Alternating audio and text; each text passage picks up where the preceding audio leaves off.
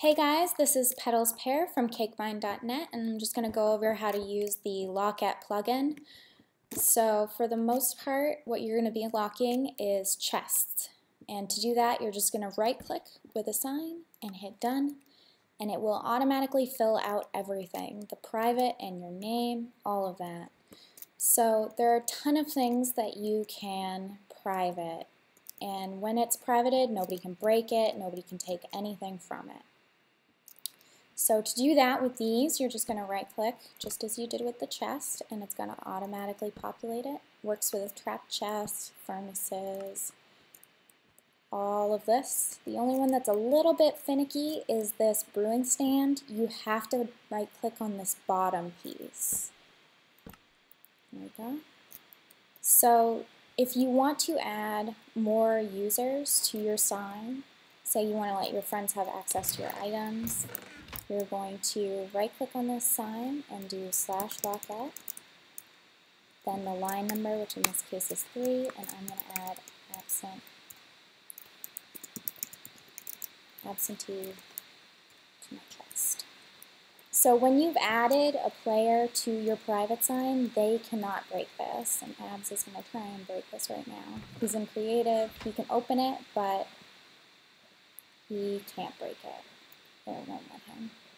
I can break this and remove the sign, but unless you're the person who's made it, you're not going to be able to break the sign.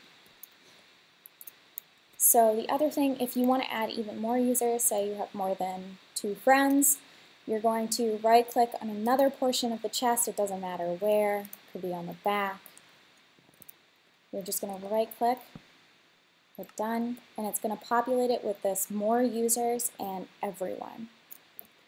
Now, unless you want literally everyone to have access to your chest, you're going to want to edit this and get rid of that everyone. So you're going to right click and do slash Lockette 2, and then because I just don't want anything there, I'm just going to hit a bunch of spaces and hit enter, and it's gone. So if I want to add another one, since it's already selected, it's not going to pop up that message. I can just do slash Lockette two, and we'll add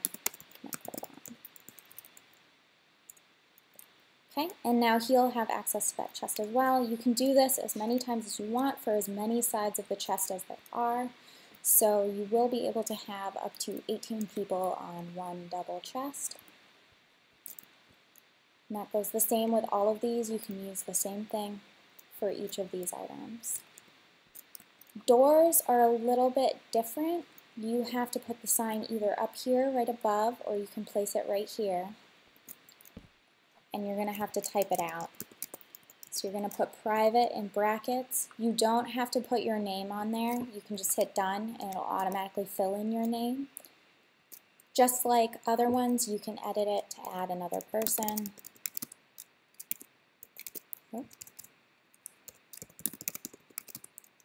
Going to add absentee.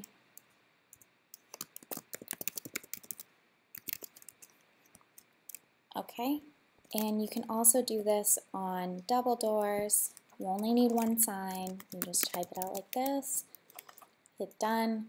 And when you open these double doors, it's going to open both of them and close both of them.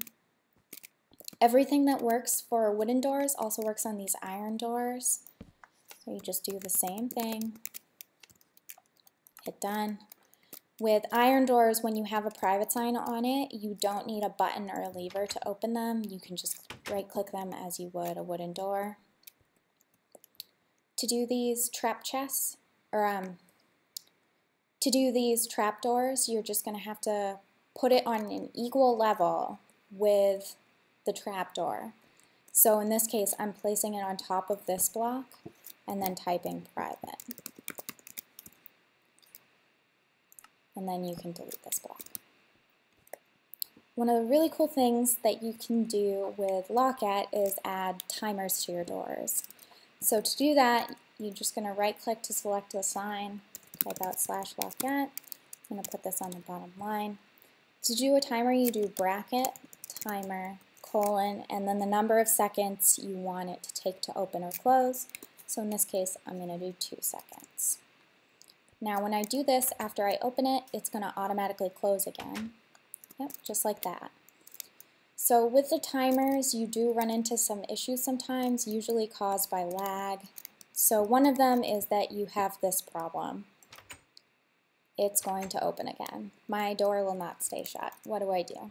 So you're going to look at the door, and then you're going to type slash lock@fix, fix, and then hit enter. And the door will shut, and now the timer is fixed. With double doors, you often run into this issue. This one doesn't even have a timer on it, but if I try and do this, it's just going to keep switching the doors back and forth. So what you're going to want to do is do the same thing. Look at the door and type slash lock@fix. fix. Okay, so that's it for the lock@plugin. plugin. We always recommend that you private everything you can, especially if it's in the wild, because here at CakeMine, if it isn't privated, it's public. Thanks, guys.